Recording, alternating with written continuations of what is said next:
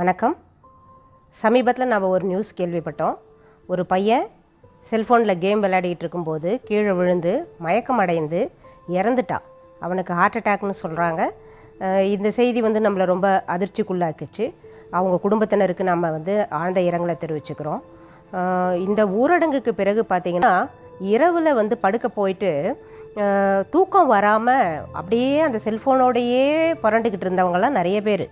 விடிகாலையில் எழுந்திருக்கும் போது செல்ஃபோன் முகத்திலேயே முழிச்சு அதோடவே சாப்பிட்டு அதோடவே பாத்ரூம் போய் இப்படி பல நேரங்கள்லையும் செல்ஃபோனோடவே வாழ ஆரம்பிச்சிட்டாங்க. செல்ஃபோனை இப்படி தொடர்ந்து பார்க்கறதுனால நம்மளுக்கு வந்து நம்மளோட உடம்புல இருக்க பாடி கிளாக்கு ரொம்ப குழம்பி போயிடுது. அதனால் என்ன ஆகுது? எது இரவு எது பகல்னே அதுக்கு தெரிய மாட்டேங்குது. அப்போது என்ன ஆகும்? நோய்கள் உடலில் வந்து நிறைய நோய்களை வந்து அது ஆரம்பித்து வச்சிடுது. குறிப்பாக பார்த்தீங்கன்னா தூக்கம் வராது பசி இருக்காது எதையும் செய்யணுன்ற நாட்டமே இருக்காது. ஒரு மனசோர்வு ஒரு மனப்பதற்றம் இதெல்லாம் நிறைய வந்து சின்னவங்க பெரியவங்க எல்லாருக்குமே இருந்தது. பெண்களுக்கும் சரிதான். எல்லாருக்குமே இதை மாதிரி இருந்தது. இதுக்கு வந்து காரணம் என்ன? அப்படின்றது வந்து ரொம்ப முக்கியமான காரணம் நான் ஏற்கனவே சொன்னது தான் ஊரடங்கில் நம்ம உள்ளே இருக்கோம். நமக்கு வேறு வடிகால் இல்லாமல் இருக்கிறது தான் பிரச்சனை.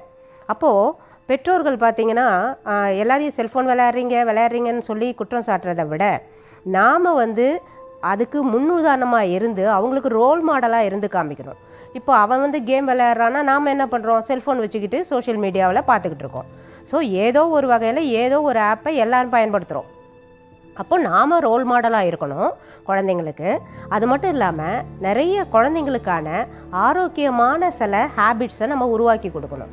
அப்போ ஆரோக்கியமான ஹேபிட்ஸ்னால் என்னென்ன? உதாரணமாக நம்ம வந்து செடிங்களுக்கு தண்ணி ஊற்றலாம் ஒரு புதிய செடியை வச்சு அது வந்து அழகாக வந்து வளர்ந்து வர்றதை காமிக்கலாம். குழந்தைங்க அதிலலாம் ரொம்ப ஆர்வமாக ஈடுபடுவாங்க.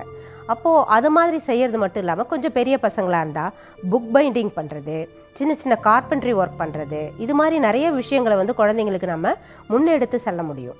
இது இல்லாமல் நாம் வந்து தொடர்ந்து செல்ஃபோன்லையே பயன்படுத்திக்கிட்டு இருக்கிறதுலேருந்து வெளிவரத்துக்கு சில டிப்ஸ் நான் வந்து இன்றைக்கி உங்களுக்கு சொல்ல போகிறேன் செல்ஃபோன்றது வந்து ஒரு டூல் தானே. அதை நம்ம கையிலேயே வச்சுக்கிட்டு இருக்கணும்னு அவசியம் இல்லைல்ல. இப்போ ஒரு பேனா இருக்குது அதை நம்ம எழுதுகிறோன்னா எழுதுகிற நேரத்துக்கு தான் பயன்படுத்துவோம். மற்ற நேரத்தில் வெளியில் தானே வச்சுருப்போம். அது மாதிரி உங்களோட செல்ஃபோனை ரூமில் வச்சுட்டு நீங்கள் வெளியில் எல்லாரோடையும் நல்லா சுமூகமாக பழகிறது ரொம்ப நல்ல விஷயம். இன்னொரு முக்கியமானது வந்து அடிக்கடி நம்ம யூஸ் பண்ணுற ஆப்ஸ் இருக்குது இல்லைங்களா?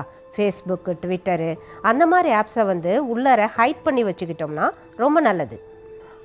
ரொம்ப முக்கியமாக பார்த்தீங்கன்னா நமக்கு ஒரு மெசேஜ் டோன் வந்துக்கிட்டே இருக்கும்ல. நாம் சும்மா இருந்தாலும் அது நம்மளை சுண்டி இழுக்கும் பாருங்கள் மெசேஜ் டோன் அந்த டோனை வந்து ஆஃப் பண்ணி வச்சுடுங்க. இது வந்து உங்களை வந்து பெருமளவு வந்து செல்ஃபோனோட ஆதிக்கத்துலேருந்து உங்களை வெளியில் கொண்டுட்டு வந்துடும் அது மட்டும் இல்லாமல் செல்ஃபோனில் சினிமா பார்க்குறது வந்து இன்றைக்கி சின்னவங்கள்லேருந்து பெரியவங்க வரையிலும் எல்லாருக்குமே இது பழகி போச்சு. ஒரு ஒன்றரை மணி நேரம் ரெண்டு மணி நேரம் செல்ஃபோன்லேயே சினிமா பார்க்குற பழக்கன்றது ரொம்ப ரொம்ப தப்பான ஒரு விஷயம். அதுலேருந்து நம்ம மாற்றிக்கிடணும் செல்ஃபோனில் நம்ம எதையாவது விளையாடணும் அப்படின்னு நமக்கு ஒரு அர்ஜ் வருது இல்லையா?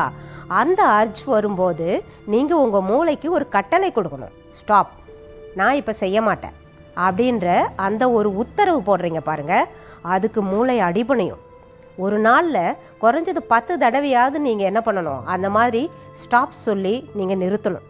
இதன் மூலமாக அந்த அந்த விஷயத்தை நீங்கள் கண்ட்ரோல் பண்ண முடியும். இப்போ நம்ம கையில் ஒரு செல்ஃபோன் இருக்குது அந்த செல்ஃபோன் வந்து ஒரு உலகளாவிய ஒரு விஷயமா ஆகிப்போச்சு இன்றைக்கி நம்ம ஒரு டிஜிட்டல் வேர்ல்டில் இருக்கோம். இந்த டிஜிட்டல் வேர்ல்டில் இந்த ஆன்லைன் சொசைட்டியில் புழங்கிறது நமக்கு ரொம்ப வசதியாக இருக்குது இதனால நம்ம என்ன பண்ணுறோம் அதுக்கு அடிக்ட் ஆகிறோம் இல்லையா? நம்ம ஒரு விஷயத்தை மறந்துடுறோம் பாருங்கள் நம்ம கூடவே இருக்கிறவங்க நம்மளை சுற்றி இருக்கிறவங்க அவங்க தானே முக்கியம். அவங்க எவ்வளோ ரொம்ப முக்கியமானவங்க. நம்ம ஒரு கஷ்டம்னு வந்துட்டா நமக்கு உதவி செய்கிறவங்க யார்? நமக்கு ஒரு கிளாஸ் தண்ணி எடுத்து கொடுக்குறவங்க யார்? அவங்க தானே நமக்கு முக்கியம். நம்மளோட நேரத்தை நம்ம யாரோட செலவு பண்ணணும்? அவங்களோட தானே செலவு பண்ணணும்? அப்போது நம்ம யாருக்கு முக்கியத்துவம் கொடுக்கணும் அப்படின்றத நம்ம கவனத்தில் வச்சுக்கணும்.